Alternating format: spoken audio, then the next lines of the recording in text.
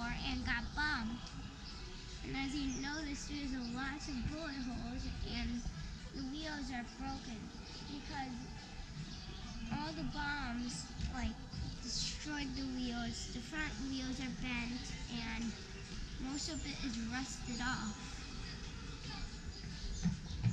So let's go to the next destination.